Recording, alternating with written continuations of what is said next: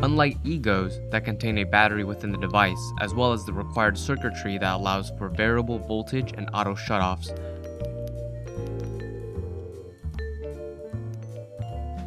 mechanical mods are simply the device without a pre-installed battery or any circuitry. A basic mechanical mod is a tube of metal with a firing pin that allows for the current in the battery to reach the atomizer, which causes the coils to heat up and vaporize the juice. Because of its very simplistic design, they're extremely durable and modifiable. However, it should be noted that they are potentially harmful. It should be stated that no lithium battery powered device is 100% safe because of the amount of energy stored in a small battery.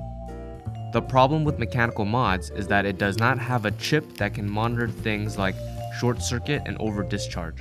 Without getting too technical, it can basically make the battery unstable to a point that it may overheat and catch flames. However, a good quality mechanical mod in the hands of an experienced person is safe. So with that, here are the safety tips. 1. Regularly check for atomizer resistance and short circuits. A fully mechanical mod will still fire even when a short occurs on the atomizer. A short circuit technically means zero or close to zero resistance or ohms. If you are using a new atomizer, make sure you check your resistance first before screwing it on your mechanical mods. If you are using a rebuildable atomizer, do not let the ohms go too low because some batteries may become very stressed with lower resistance.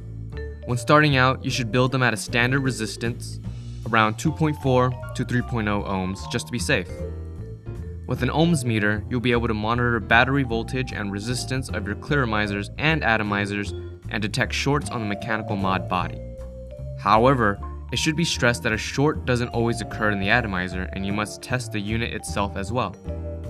To do this with an ohms meter, take out your battery, with one probe touch the positive pin and the other on the body. If the meter shows any kind of resistance, it means the current is flowing and you have a short somewhere. 2. Quality above all. Don't get a cheap battery to save yourself a few dollars, it's just not worth it for your safety. Older batteries and those that have damaged casing or any other noticeable defects should not be used. It's also important to understand the right type of battery. A good quality protected ICR chemistry battery is a better choice, and some would even argue that IMR battery chemistry is safer due to it being less volatile.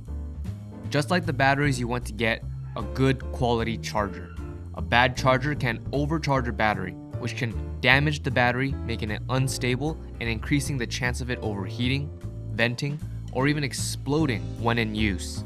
A fully charged IMR battery should be between 4.15 and 4.20 volts. Anything above that 4.25 volt and you will shorten its life and instability becomes a concern. Above 4.5 is a recipe for disaster.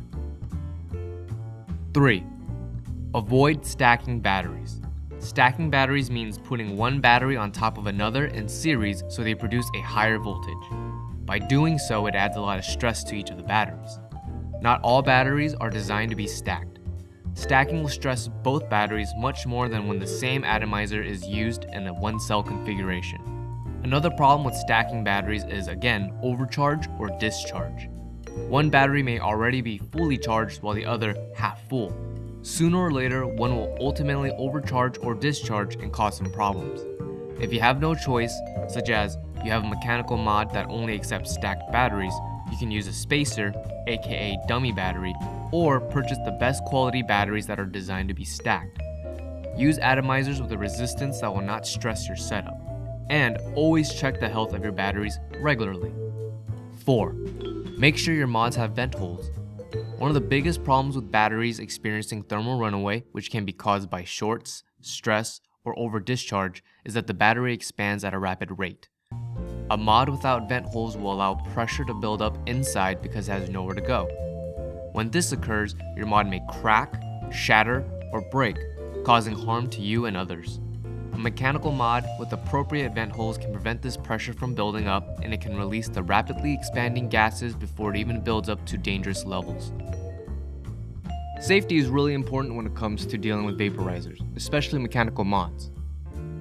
All the products you see here except the multimeter is available at 123vaporizers.com.